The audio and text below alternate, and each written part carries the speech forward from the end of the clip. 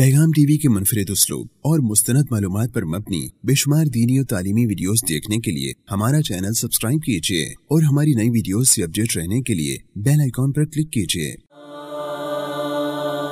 سمجھے ہر ایک چیز کو در حقیقت۔ دے دے الہی وہ نور بصیرت۔ نحمدہ ونسلی علی رسولہ الکریم. فاؤز باللہ من الشیطان الرجیم. بسم اللہ الرحمن الرحیم. وننزل من القرآن ما هو شفاء ورحمت للمومنین محترم ناظرین کرام، رمضان اور قرآن کا رشتہ یہ ایک ایسا رشتہ ہے کہ اس رشتے کے وجہ سے رمضان کو بھی اللہ پاک نے عزت عطا کی۔ اور میں یہ کہتا ہوں کہ یہ قرآن بنی نو انسان کی جلی اور خفی بیماریوں کے لیے نسخہ شفا ہے۔ بڑا بلیغ انداز ہے قرآن حکیم کا۔ بڑا خوبصورت جملہ ہے قرآن حکیم کا۔ بڑی دل نشیں بات ہے قرآن حکیم کی کہ ورحمت للمومنین یہ قرآن حکیم مومنوں کے لیے، اہل نظر کے لیے، اہل دانش کے لیے سراسر رحمت ہے۔ یہ قرآن حکیم اور میں جب اس کو اپنے انداز میں تشریح کے طور پر بیان کرتا ہوں تو میں یہ کہتا ہوں کہ یہ قرآن حکیم انسان کی دل کی دھرتی پر ابر کرم بن کر برستا ہے، جس کا ہر موتی انمول ہوتا ہے۔ لیکن ولا یزید الظالمین اللہ خسارہ۔ لیکن ظالم کے دل کی دنیا اتنی تاریک ہوتی ہے اتنی شور اور کلر کی ماری ہوتی ہے، اتنی کالی ہوتی ہے کہ یہ قرآن حکیم جیسا ابر کرم بھی اس پہ اثر نہیں کرتا۔ یہ قرآن حکیم کا قصور نہیں، یہ ظرف اور زمین کا قصور ہوتا ہے۔ بارش کا پانی ایک جیسا ہوتا ہے۔ کچھ زمینیں ایسی ہوتی ہیں کہ بارش کا پانی اس ان پہ برسے گلشن مہکتے ہیں، پھول کھلتے ہیں، سبزے لے لہاتے ہیں۔ لیکن کچھ زمینیں ایسی ہوتی ہیں کہ ان پر اگر وہ بارش کا پانی برسے تو وہ وہاں سے تافن اٹھتا ہے۔ تو یہ قرآن حکیم کہ کچھ خوش قسمت لوگ ہوتے ہیں جو اس کو سن کر اپنی زندگیوں کو تبدیل کر لیتے ہیں اور کچھ بدقسمت ہوتے ہیں جو قرآن حکیم سنتے بھی ہیں، لیکن ان کا مقدر اور زندگی تبدیل نہیں ہوتی۔ سیپ کا منہ کھلا ہو اور بارش کا ایک قطرہ اس میں چلا جائے اور خاص وقت پر اس کا منہ بند ہو جائے تو وہ قطرہ موتی بنتا ہے جو انمول ہوتا ہے۔ لیکن اگر وہی بارش کا قطرہ سانپ کے منہ میں چلا جائے تو وہ زہر بنتا ہے۔ تو یہی حال قرآن حکیم کا ہے۔ ہمیں اپنے گریبانوں میں جان کر دیکھنا چاہیے کہ موتی بن رہے ہیں یا زہر بن رہے ہیں؟ اور خدا کی قسم اٹھا کر کہتا ہوں کہ یہ ظرفوں کی بات ہے۔ اگر قرآن حکیم، قرآن کریم ابو بکر سنتا ہے تو وہ صدیق بنتا ہے، ابو جہل سنتا ہے تو وہ زندیق بنتا ہے۔ یہ قرآن حکیم، قرآن اور رمضان کی جو مناسبت ہے، جو نسبت ہے، ہمیں اپنی زندگیوں کو قرآن کے ساتھ اس رمضان میں خاص طور پر عہد کرنا چاہیے کہ ہم نے قرآن کریم کے ساتھ وابستہ ہونا ہے۔ اور میں یہ کہتا ہوں، ذمہ داری سے یہ کہتا ہوں کہ جو قرآن کے ساتھ وابستہ ہو جاتے ہیں، وہ پوری دنیا پر، پورے جہان پر چھا جاتے ہیں۔ وہی سچے بشر ہوتے ہیں۔ اور سچے بشر جب ہوتے ہیں، اس زمین پر اگر سچے بشر پیدا ہو جائیں، تو پھر اس زمین کا بھی مقدر بدل جائے، اس فضا کا بھی مقدر بدل جائے۔ ان ہواؤں کا بھی مقدر بدلے، ان فضاؤں کا بھی مقدر بدلے۔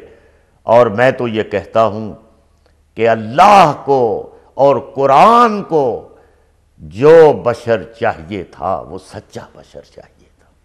اور وہ سچا بشر دیکھو، سچے بشر تو پھر سچے بشر ہوتے ہیں۔ سچا مسلمان، سچا بشر۔ اور میں تو یہ کہتا ہوں کہ بشر جو ہوتا ہے وہ سچا ہی ہوتا ہے، وہ مکار نہیں ہوتا، وہ کمینہ نہیں ہوتا، وہ جھوٹا نہیں ہوتا۔ میں یہ کہہ رہا ہوں کہ جو قرآن کے ساتھ وابستہ ہو جاتے ہیں نا، جو قرآن کے ساتھ وہ بستہ ہو جاتے ہیں، وہ سارے جہان پہ چھا جاتے ہیں۔ یہ قرآن تنکوں کو شہتیر بنا دیتا ہے۔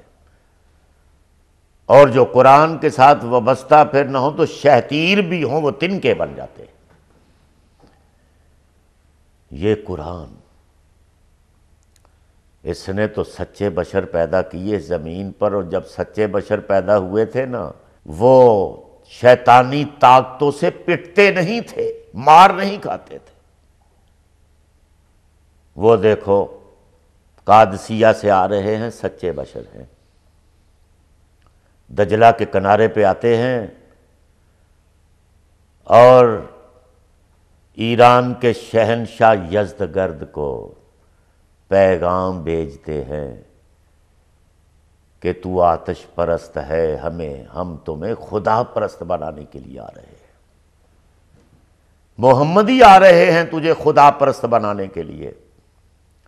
پھر نہ کہنا تیاری کرو۔ ہم آ رہے ہیں تجھے خدا پرست بنانے کے لیے۔ تو یزدگرد نے اپنی قوم کو اکٹھا کیا کہ محمدی آ رہے ہیں، ہم ان سے لڑ تو نہیں سکتے۔ وہ سچے بشر ہیں۔ ان سے ہم لڑ تو نہیں سکتے۔ وہ موت سے نہیں ڈرتے۔ تو اس کے لیے اگر بچنا چاہتے ہو تو دجلہ کا پل توڑ دو۔ پل کو توڑ دیا گیا۔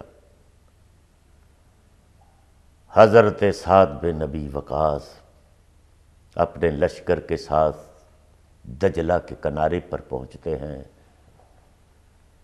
تو پل ٹوٹا ہوا ہے۔ پل کو دیکھ کر اور پھر دریا کی موجوں کو خطاب کرتے ہیں اور کہتے ہیں کہ دریائے دجلہ، تو جس کے حکم پہ چل رہا ہے نا اسی کے حکم پر ہم بھی سر بکف چل رہے ہیں۔ ہمیں تیری موجوں سے کوئی خوف نہیں ہے۔ قرآن کے ساتھ وابستہ تھے نا وہ لوگ۔ قرآن کے ساتھ وابستہ تھے، سچے بشر تھے۔ تو دجلہ کو خطاب کرتے ہیں اور ایڑی لگاتے ہیں گھوڑے کو۔ موجوں کے سپرد کرتے ہیں۔ سارے مجاہدین نے اپنے آپ کو، اپنے گھوڑوں کو موجوں کے سپرد کر دیا۔ اور امام راضی رحمت اللہ علیہ لکھتے ہیں کہ محمد کے غلام اس طرح دجلہ کی موجوں میں جا رہے تھے جس طرح شہنشاہ اپنے تختوں پر بیٹھے ہوئے۔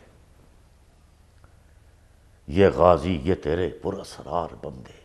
جنہیں تو نے بخشا ہے ذوق خدائی، دو نیم ان کی ٹھوکر سے سہرا و دریا، سمٹ کر پہاڑ ان کی حیبت سے رائی۔ دو عالم سے کرتی ہے بیگانہ دل کو، عجب چیز ہے لذت آشنائی۔ مسلمانوں، ناظرین کرام، دجلہ کے کنارے اور پھر وہ موجیں، دجلہ کا کنارہ، پھر موجیں۔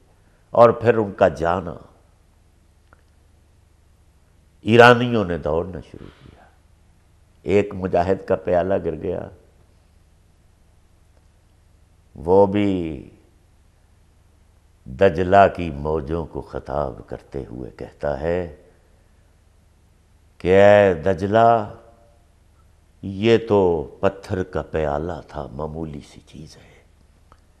ہم اس میں کھاتے بھی تھے، پانی بھی پیتے تھے۔ لیکن دجلہ تو تاریخ کا حصہ بننے والا ہے۔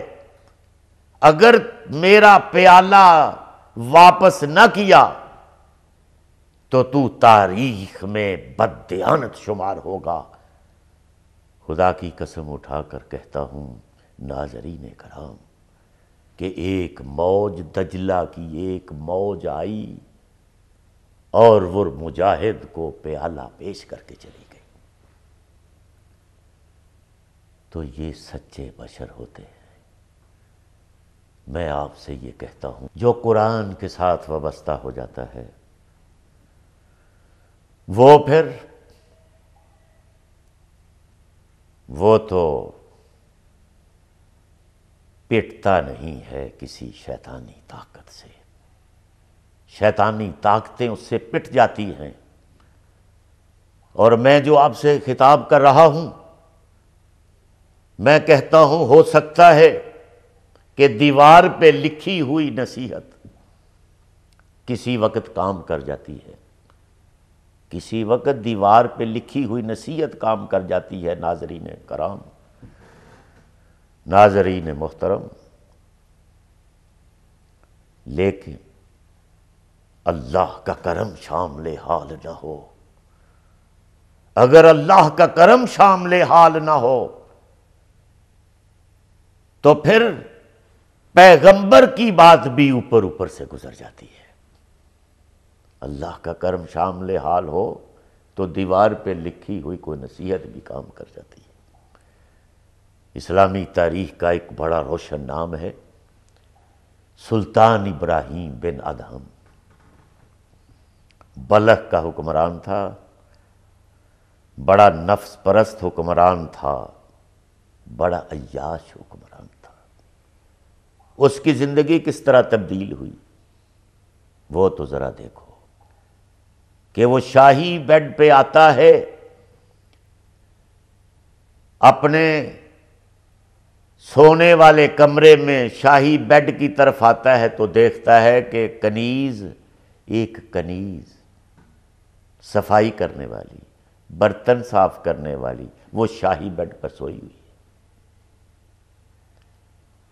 دیکھتا ہے غزبناک ہوتا ہے کہ پروٹوکول بھی اس کا بھی خیال نہیں کیا گیا۔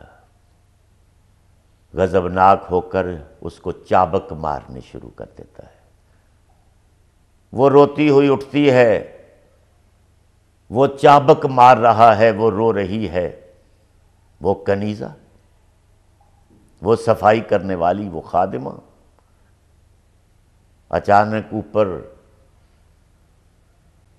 سر اٹھا کے ہنسنا شروع کر دیتی ہے۔ اور یہی وہ لمحہ تھا۔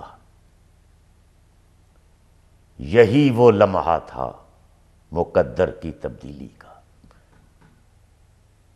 سلطان ابراہیم پوچھتا ہے کہ جب میں چابک مار رہا تھا تو رو رہی تھی، یہ ہستی کیوں ہو؟ اس نے کہا، اگر میں بتاؤں گی تو اور کھاؤں گی، تو ناظرین نے اس نے کہا کہ یہ سلطان ابراہیم میں پانچ منٹ سوئی ہوں تو پانچ نقد چاپک مجھے پڑے ہیں۔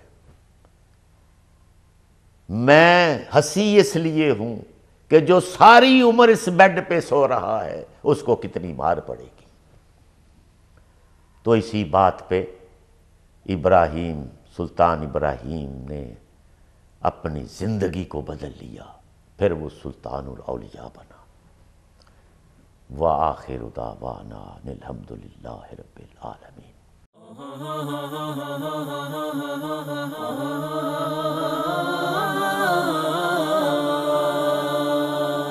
سمجھے ہر ایک چیز کو در حقیقت۔ دے دے الہی وہ نور بصیرہ